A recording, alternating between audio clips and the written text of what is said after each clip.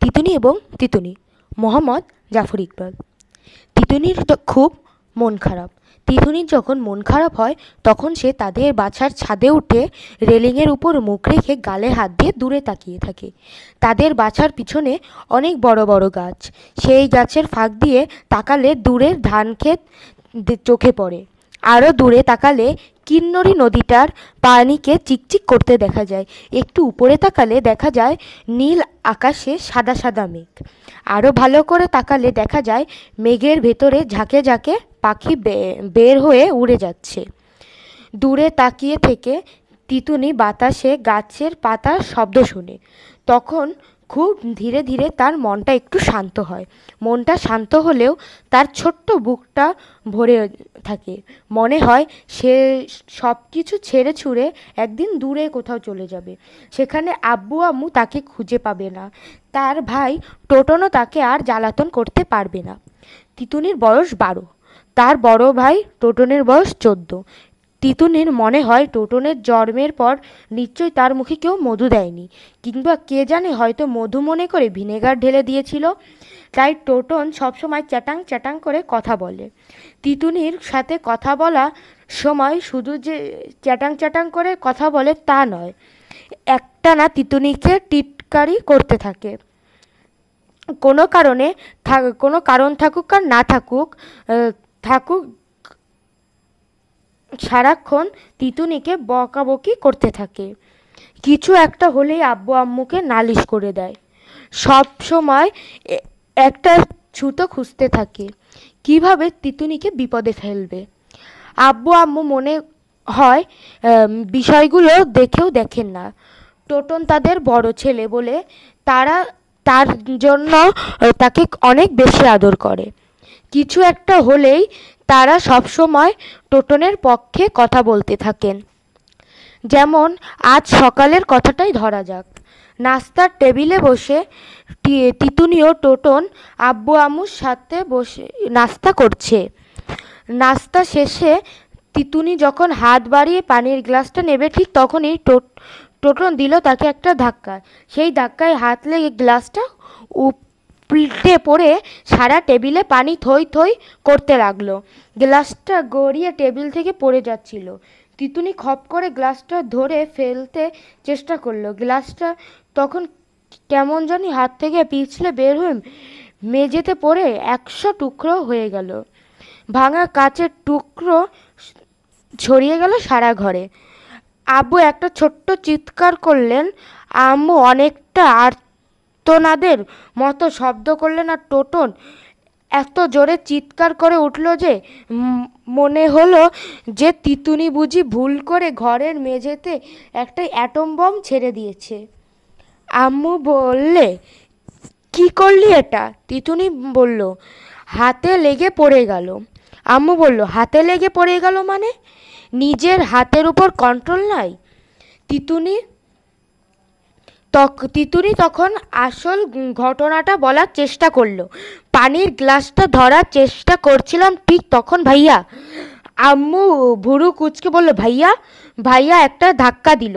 টোটন তখন প্রায় লাফিয়ে উঠে হাত পা নেড়ে গলা উঁচিয়ে বলল, আমি আমি ধাক্কা দিয়েছি। আম্মু দেখেছ কত বড় মিথ্যুক? নিজে গ্লাসটা ভেঙে এখন আমাকে দোষ দেয়? কত বড় মিথ্যুক?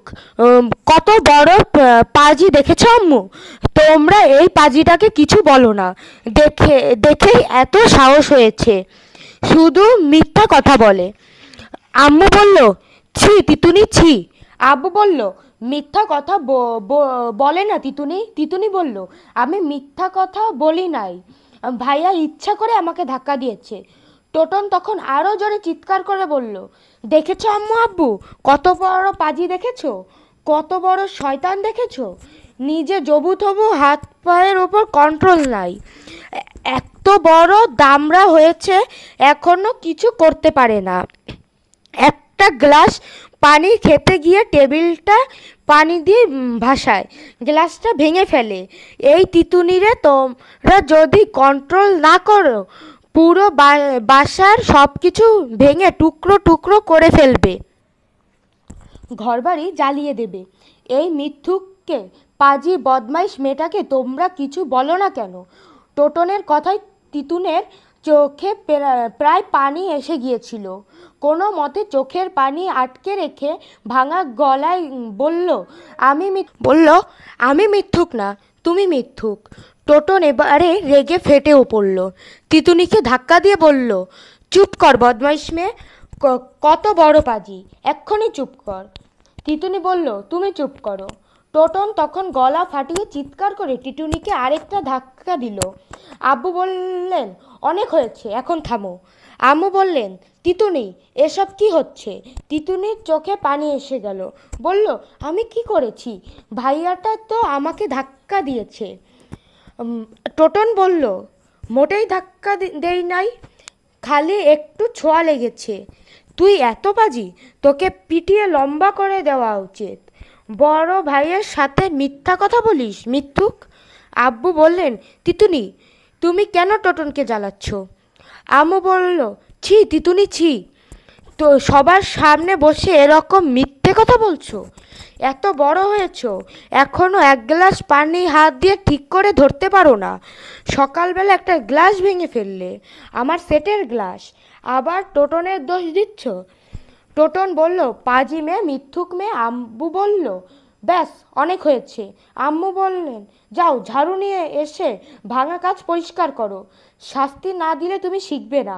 টোটন বলল, যা, ঝাড়ু আন ঝাড়ুদারনি তিতুনি ঝাড়ু নিয়ে ভাঙা কাজ পরিষ্কার করল। টেবিল মুছে দিল। তারপর সিঁড়ি দিয়ে ছাদে উঠে ছাদের রেলিংয়ে মুখ রেখে দূরে তাকিয়ে রইল।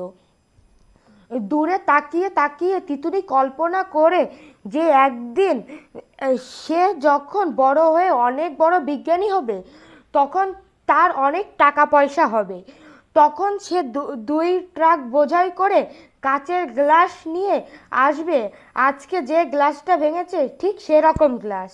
তারপর বাসায় যখন কেউ থাকবে না, তখন সেই হাজার হাজার লক্ষ লক্ষ কাচের গ্লাস দিয়ে বাসাটা বোঝাই করে দেবে।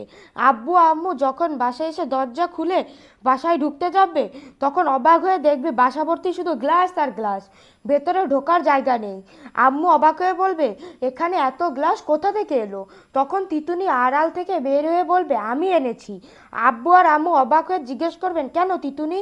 কেন তুমি এত গ্লাস এনেছো? তখন আমি বলব, মনে আছে আজ থেকে বিশ বছর আগে একদিন আমার হাত থেকে পড়ে একটা গ্লাস ভেঙে গিয়েছিল। সেদিন তোমরা আমাকে কত বকাবকি করেছিলে মনে আছে? আমাকে দিয়ে সেই ভাঙা কাজ পরিষ্কার করিয়েছিলে মনে আছে? আম্মু বলবে, না তিতুনি, আমার মনে নাই। আব্বু বলবে, কই? আমার তো মনে পড়ছে না। তখন তিতুনি বলবে, তোমাদের মনে না থাকতে পারে। আম্মু আর আব্বু, কিন্তু আমার সেটা মনে আছে। আমি কখনো ভুলবো না। বিশ বছর আগে আমি প্রতিজ্ঞা করেছিলাম যদি কখনো আমার ক্ষমতা হয়, তাহলে আমি তোমাদের বাসা ভর্তি করে গ্লাস দিয়ে যাব। গ্লাস আর গ্লাস আর গ্লাস। আমার ক্ষমতা হয়েছে, তাই তোমাদের বাসা ভর্তি করে গ্লাস দিয়েছি। তোমরা এই গ্লাস দিয়ে সুখে থেকো। আমি গেলাম। আমু তখন ফুফে কেঁদে উঠবে। কোথায় গেলি? আমি চলে যাচ্ছি অনেক দূরে। তোমরা আমাকে আর পাবে না। তখন আম্মু জোরে কেঁদে কাঁদতে কাঁদতে বলবে, আমরা তাহলে কাকে নিয়ে থাকব? তিতুনি তখন মুখ শক্ত করে বলবে, তোমরা আমাকে কখনো ভালোই বাসনি, আদর করনি। তোমাদের কাছে আমার থেকে বেশি আদরের জিনিস হচ্ছে এই গ্লাস।